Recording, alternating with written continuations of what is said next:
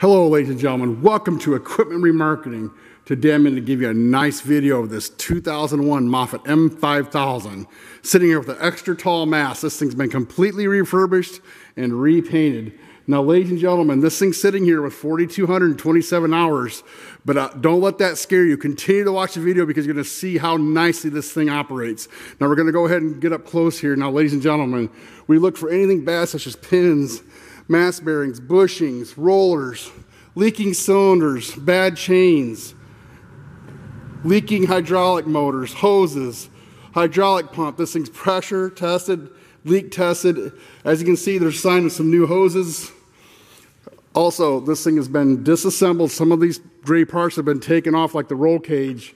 We paint them separately so we can get in there and clean it really nicely and get a good coat of paint all the way through so it doesn't bleed, have any rust bleed, and it also gives you a nice, nice, long-lasting finish. Take a look at the new bolts there showing that this cage has been off and repainted separately. You also have a nice new seat, ladies and gentlemen.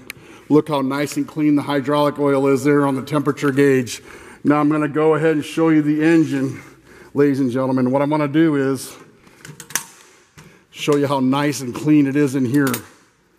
Take a look at that V2203. That thing's a long-lasting engine, ladies and gentlemen. It goes in Bobcat 753s and other units that run for a long time. It's time-tested and proven. Now I'm going to go ahead and show you the back engine compartment here, ladies and gentlemen. I had to unlock the, the door.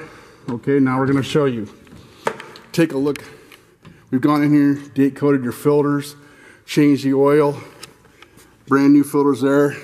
This thing's ready to hit the ground running. You're gonna know how many hours you need to put on it before you go to work.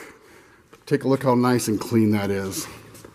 It also has a brand new pump. Now look, ladies and gentlemen, that's proof that when we pressure test it, we know that when it needs replaced and you're getting that, this motor's running great. Now, ladies and gentlemen, I'll walk around here, show you a little better. Look at the brand new tire here. Look how nice the grill is all new decals, battery box repainted, weights are painted a separate color. You can tell we go in here and really clean them good, get everything painted. Now was gonna fire it up just to show you how nice it operates. Look at that new tire, and let's look at the new tire on the other side. Okay, we're gonna hear that Kubota come to life. Hear that thing? It was just cold started. Now look at the mast going up and down. Tilt. Side shift. Also have outriggers. We have the mast going in and out.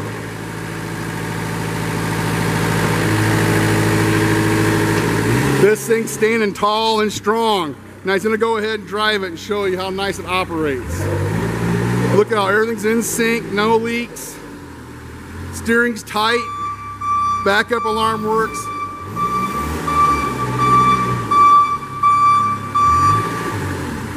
Ladies and gentlemen, give us a call 260 238 4998. 260 238 4998. There's our phone number. If you want to check us out on the web, it's 99lifts.com. 99lifts.com, ladies and gentlemen. And we will be glad to meet you. Have a blessed day.